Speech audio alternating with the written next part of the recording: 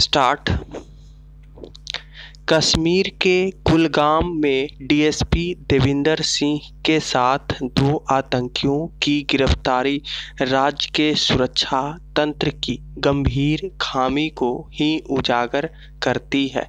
इस अफसर की गाड़ी में दिल्ली आ रहे दोनों आतंकी खूंखार किस्म के हैं और एक तो उन कई लोगों की हत्याओं के लिए जिम्मेदार हैं। जो राज्य के बाहर से कश्मीर अपनी रोजी रोटी कमाने के लिए गए थे, उस पर पुलिस कर्मियों की हत्या का भी आरोप है और एक के सैतालीस राइफल लूटने का भी।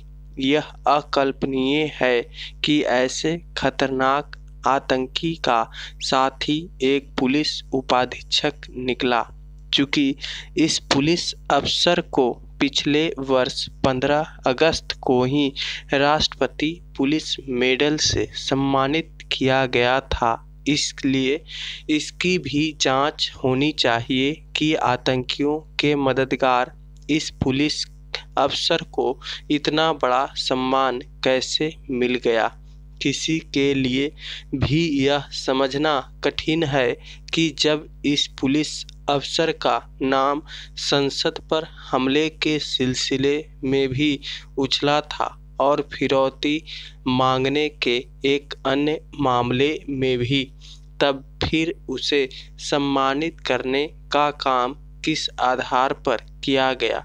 यह एक गंभीर सवाल है और इसका जवाब सामने आना ही चाहिए।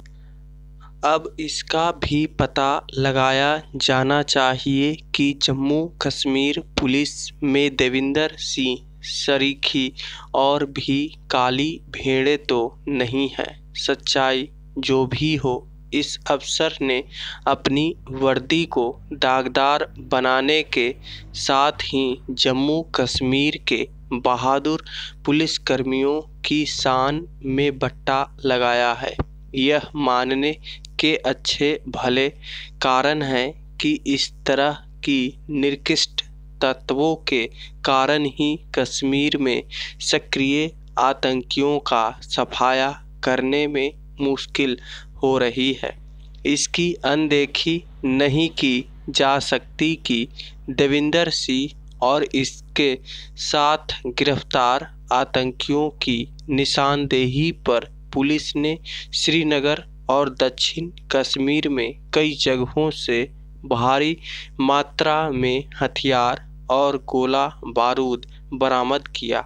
इससे तो यही संकेत मिलता है कि देविंदर सिंह दरअसल पुलिस की वर्दी पहनने वाला एक आतंकी ही है। देविंदर सिंह का कुलसित आचरण यह भी बताता है कि कश्मीर में फैला आतंकवाद किस तरह एक कारोबार का रूप ले चुका है? आम धारणा है कि इस कारोबार को कुछ नेता और व्यापारी ही परोक्ष रूप से समर्थन दे रहे हैं। लेकिन देविंदर सिंह की गिरफ्तारी ने एक और गंभीर खतरे की ओर संकेत किया है।